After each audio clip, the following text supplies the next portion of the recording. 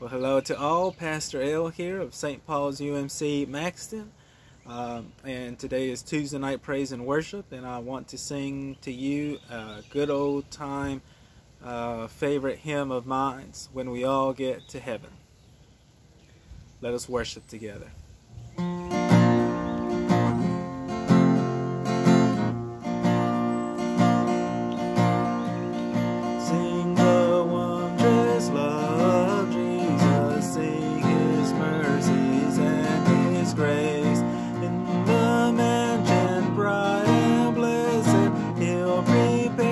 Us a place. When we all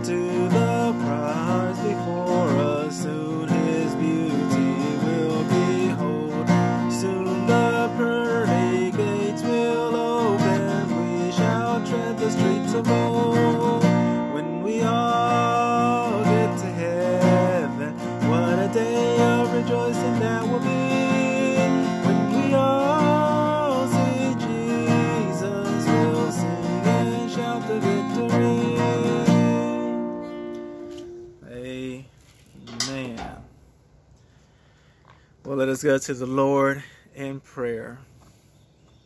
A merciful and gracious God, we are thankful that we can praise you and we can sing to you, that we can be in your presence. And Father, we do look forward to that day uh, when we will see you face to face, uh, knowing fully well, Lord, that we can experience you here today. And Father, we are just so thankful uh, that you are with us, uh, that you uh, walk with us and talk with us. And Father, we are just uh, thankful for everything that you do. It is in the name of Jesus Christ we do pray. Amen.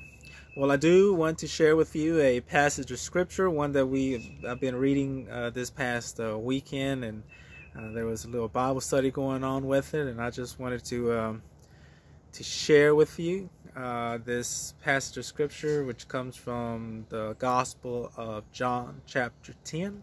And I'll just read verses 14 onward. So I invite you now to hear the word of God. Uh, Jesus speaking says, I am the good shepherd. I know my sheep, and my sheep know me. Just as the Father knows me, and I know the Father, I and I lay down my life for the sheep. I have other sheep that are not of this sheep pen. I must bring them also. They too will listen to my voice, and there shall be one flock, one shepherd. The reason my Father loves me is that I lay down my life, only to take it up again. And no one takes it from me, but I lay it down of my own accord. I have authority to lay it down and authority to take it up again. This command I received from my Father. The word of God for us, people of God. Thanks be to God. Um, beautiful, beautiful passage of scripture here today. Just reminds us that God is the good, that Jesus Christ is the good shepherd, and that the good shepherd does take care of his sheep, uh, that the good shepherd lays down his life for the sheep. And it's exactly what Jesus Christ does on the cross. He lays down his life for you and me in order that we might live, in order that we might experience new birth, in order that we might experience new life in Jesus Christ. And um, and so today we are reminded that Jesus Christ is the good shepherd, that we are his sheep. And as I was reading this passage of scripture, a thought did come to me, and I mean, I'm taking some liberties with the text here, but uh, wouldn't it be great if we could somehow graduate from being sheep to being the sheepdog. And of course, during that time, uh, you didn't use sheepdogs, and that wasn't a thing. Uh, but we know about them now, and we know uh, the loyalty of, of these uh, dogs, these work dogs, have for their for their shepherd. And wouldn't it be amazing that instead of being this dumb animal that always find itself needing to be taken care of, that always finds itself uh, running away, that always finds itself in danger, that always finds itself not listening to the shepherd, uh, not following the shepherd, but straying and, and being lost, that we could somehow become a sheepdog. You think about these sheepdogs, these work animals, and uh, they are loyal. They spend time with their the the good shepherd.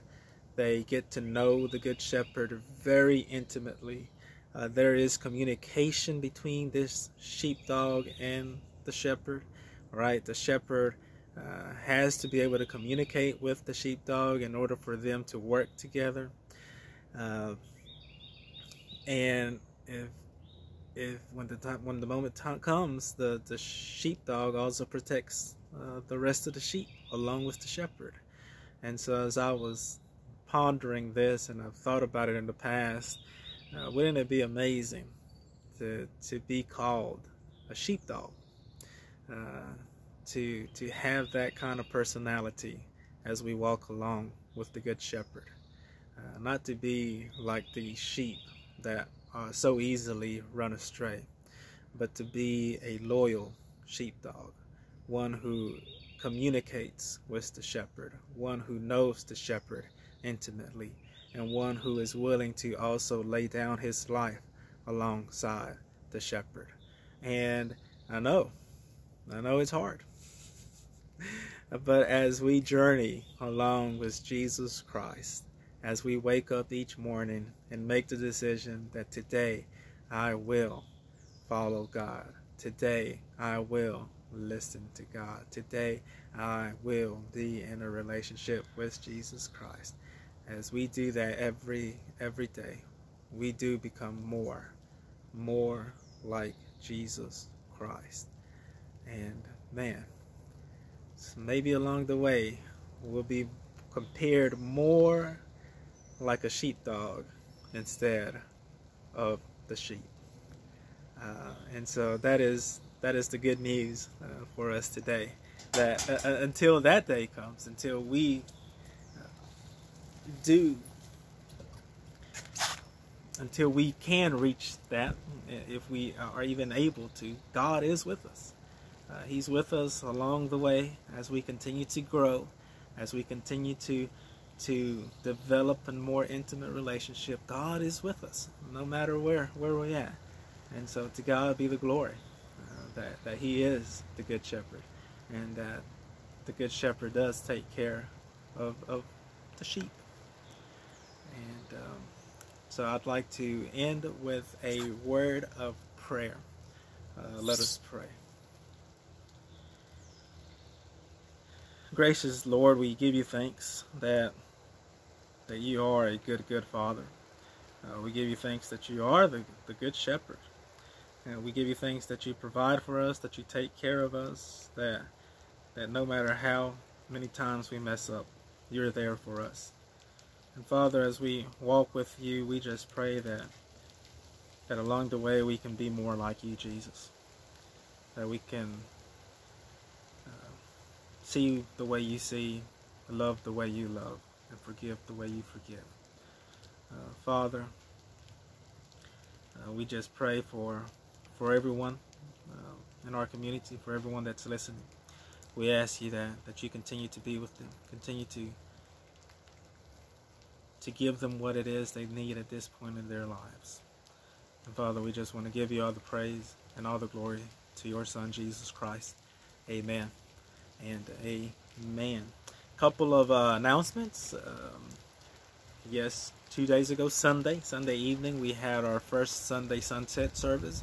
I think it went pretty good. It went okay. There was a few hiccups, but I'm already working to to make those adjustments to to fix that up. So next Sunday evening at 6:30, 6.30 to about 7 o'clock might pass a little bit over but around 7 o'clock 30 minutes we'll have uh, another service sunday sunset service. So i'm inviting you to please come out and, and join us for service.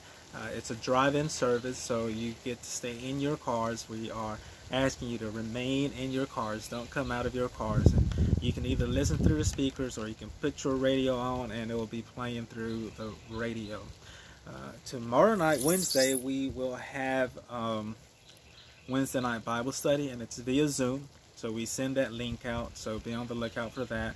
I invite you to join us. We've been doing uh, some of the parables, and we'll continue to do uh, the parables for a couple of more weeks. So I'm inviting you to come out to that. And for those who can't come to the Sunday sunset service, the drive-in service, we are we will continue to send out videos. Um, Sunday morning. So be on the lookout for those videos Sunday morning as well. And so, with all that said, I pray blessings of peace uh, be upon you and your family from our Lord and Savior Jesus Christ. Amen.